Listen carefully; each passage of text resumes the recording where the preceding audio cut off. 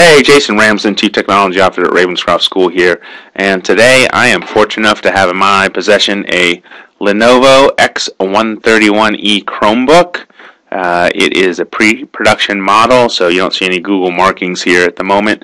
But um, been using this for about a week now uh, in demo mode, carting it around, and uh, very pleased with its durability. Um, slightly heavier than the Samsung Series 5 that I have, only about seven ounces. Um, so it is it is easy to carry around. I'll uh, give you a quick tour. First of all, I want to talk about the durability. It is built on the same X131E model uh, that is already out in a Windows format, uh, but you'll see that can kind of bang away on it.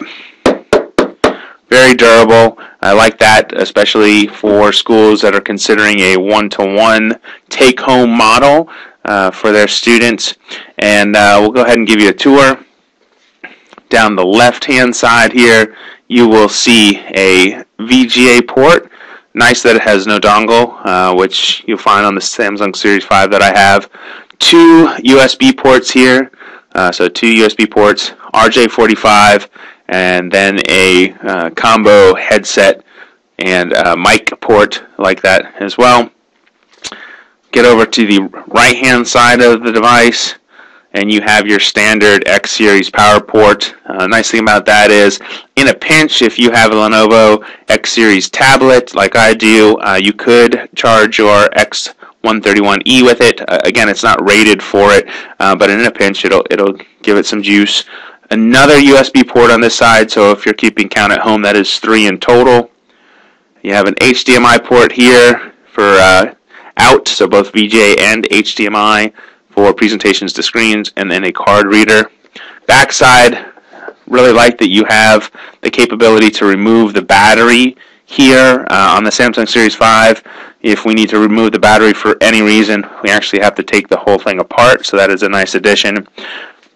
The other nice part, you can see it here, is speaker. Goes all the way across. It's a nice addition. Really good sound coming out of the X131E.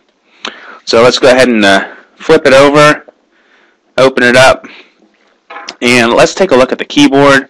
Um, so it does have your traditional Chrome key keys going across the top. Uh, refresh, full screen, uh, tab to a new window, contrast, uh, sound, up, down. Um, it does have home end, insert and delete here as well, which are nice additions.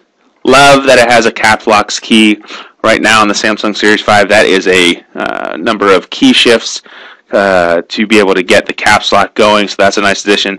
Search key is down here now um, instead of where uh, the caps lock is. Uh, on the Samsung Series 5, it's up here in your typing range, so oftentimes you'll hit it.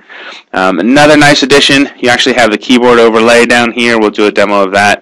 It's nice to be able to pull that up quickly. Again, on the Samsung Series 5, that is a, uh, a series of keystrokes that makes that happen. Over here, love that you have page up and page down, makes working in Google Docs so much easier than the Samsung Series 5. So those are really nice additions, caps locks. So just from a work standpoint, really nice. Um, you also have the track point and the trackpad, and on the trackpad you have mount, uh, mice, uh, left and right, uh, both at the top and built in here at the bottom. I have found, as it's typical on the on the Lenovo X series, the trackpad much quicker. Um, the track point a little bit slower, um, but um, both uh, being able to be used, which is very nice. Uh, let's go ahead and get logged into it.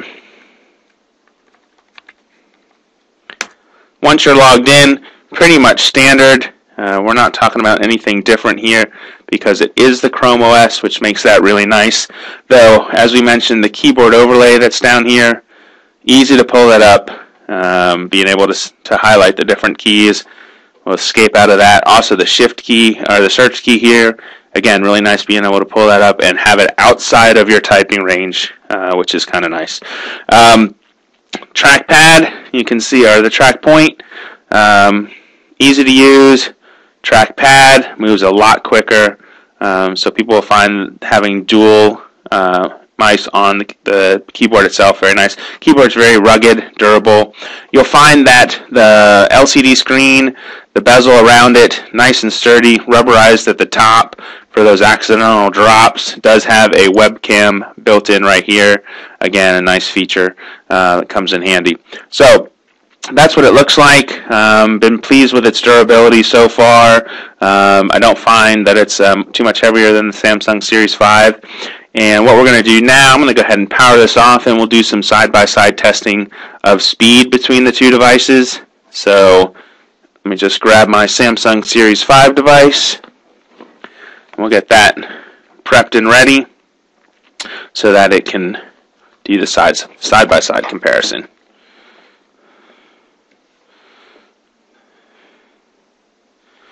Okay, so at this point, both devices are off. So let's go ahead and power them up. See that? Lenovo X131 hits Chrome and actually is at the login a lot quicker than what you'll find on the Samsung Series 5. Let's go ahead and do a test of actually logging in.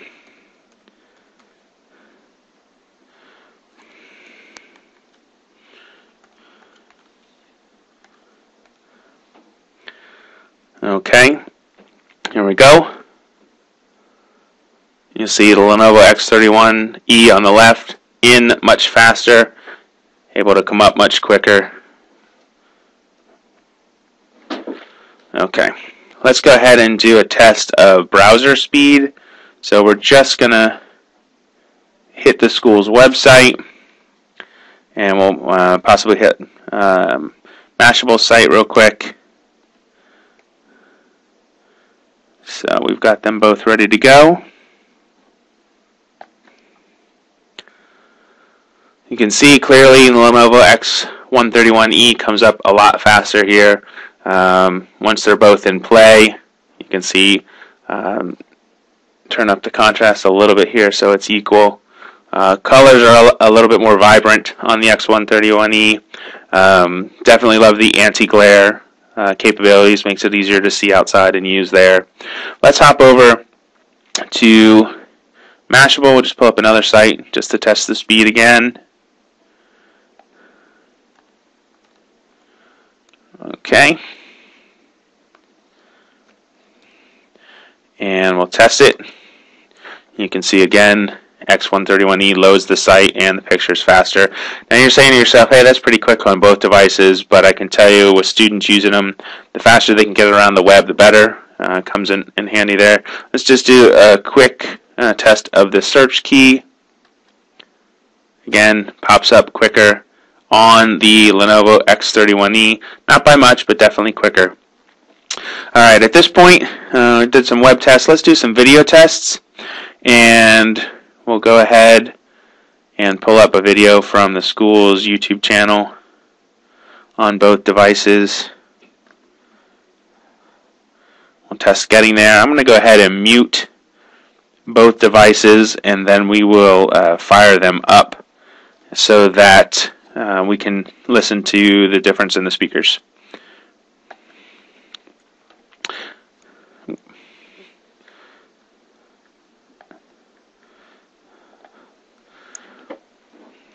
Alright, so we have both videos up, and this is the sound coming off of the Lenovo X31E. It's just like one society at Ravenscroft, like one family, we know everybody, which is a great thing. We have so many opportunities, so many different clubs. We'll go ahead and get that muted. Extra